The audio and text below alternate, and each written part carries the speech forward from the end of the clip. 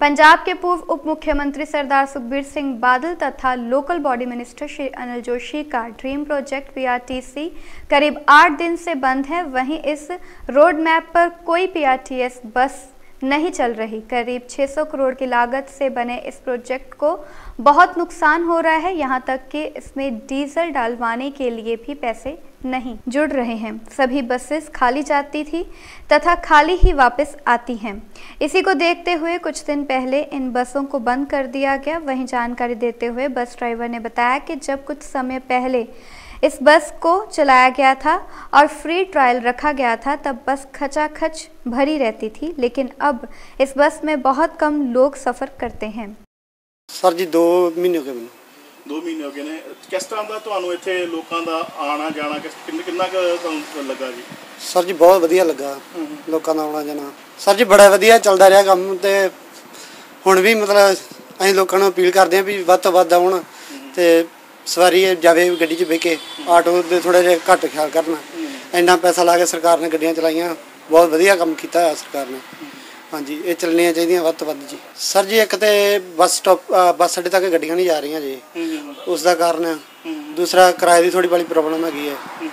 ਉਹਦੇ ਕਾਰਨ ਕਰਕੇ ਥੋੜਾ ਜਿਹਾ ਹੈ ਪ੍ਰੋਬਲਮ। ਕੀ ਲੱਗਦਾ ਸਰਕਾਰ ਨੂੰ ਥੋੜਾ ਢਿੱਲ ਪਾਣੀ ਚਾਹੀਦੀ ਇਸ ਚੀਜ਼ ਨੂੰ ਲੈ ਕੇ ਔਰ? ਹਾਂਜੀ ਹਾਂਜੀ ਸਰ ਜੀ ਕਿਰਾਏ ਦਾ ਥੋੜਾ ਜਿਹਾ ਕਰਨਾ ਚਾਹੀਦਾ ਤੇ ਜਲਦ ਤੋਂ ਜਲਦ ਚਾਹੀਦਾ ਕਿ ਬੱਸ ਅੱਡੇ ਤੱਕ ਗੱਡੀਆਂ ਜਾਣ।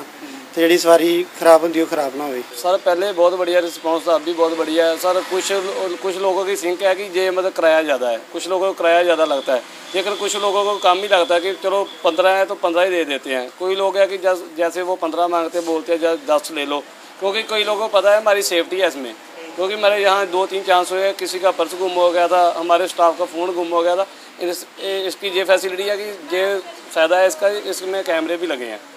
मान लो आपको कोई चीज़ गुम हो जाती है तो मिल जाती है लोकल बस या ऑटो पे आप जाते हो तो आपको वो ऑटो तो मिलेगा ही नहीं और बस वाले भी नहीं वापस देते सर उसके पीछे मैं यही समझता हूँ कुछ लोग किराए की वजह से नहीं आते ਕੋਈ ਇਹੋ ਜਿਹਾ ਪ੍ਰੋਜੈਕਟ ਤਾਂ ਹੁੰਦਾ ਨਹੀਂ ਜਿਹੜਾ ਪਹਿਲੇ ਦਿਨ ਹੀ ਸਾਰਾ ਇਕੱਠਾ ਹੀ ਸ਼ੁਰੂ ਹੋ ਜਾਵੇ